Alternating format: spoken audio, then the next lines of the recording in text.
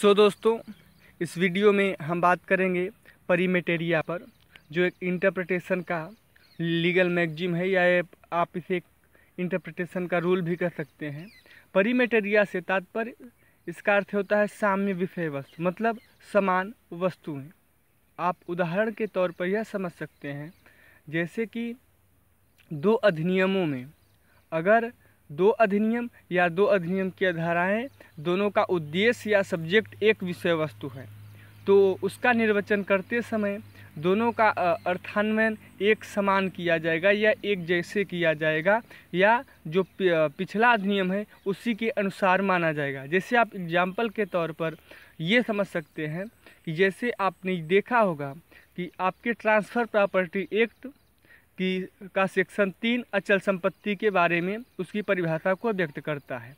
और उसके पहले का आया हुआ एक जनरल जनरल क्लाजेज एक्ट अट्ठारह का section two sub class twenty six में भी अचल संपत्ति की परिभाषा दी गई है।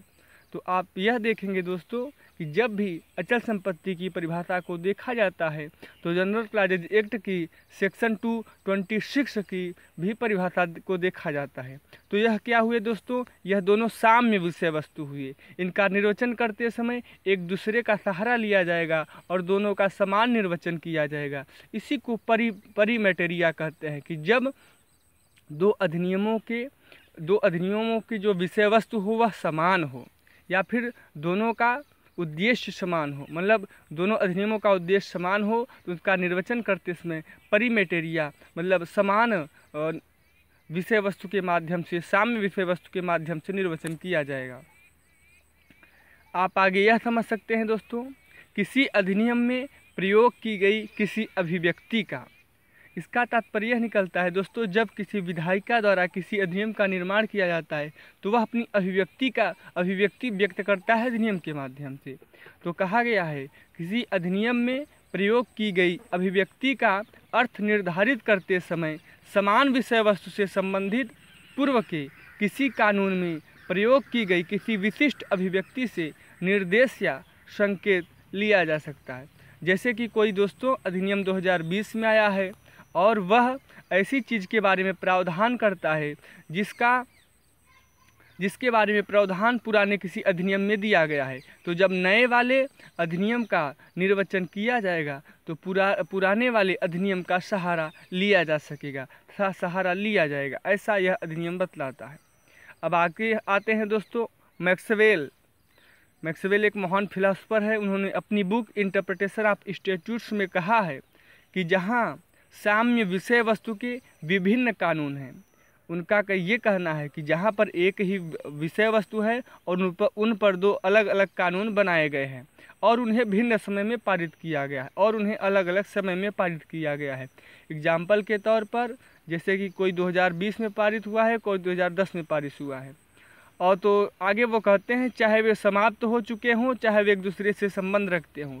चाहे 2010 वाला समाप्त हो चुका हो, चाहे 2020 वाले से संबंध न रखता हो। मगर जब उनका दोनों का इंटरप्रिटेशन किया जाएगा तो दोनों का अर्थ समान निकाला जाएगा। आप ऐसे भी समझ सकते हैं दोस्तों, जैसे कि आपने देखा कॉन्ट्रैक्ट अधिनियम की धारा 11 कॉम्पिटेंट सक्षम पक्षकार के बारे में बतलाती है। लेकिन जब उसका इंटरप्रटेशन किया जाएगा कि हु इज़ कॉम्पिटेंट तो भारतीय वयस्कता अधिनियम अट्ठारह के, बहत्तर में से उसके सेक्शन तीन में से यह निकाला जाता है कौन व्यक्ति वयस्क है।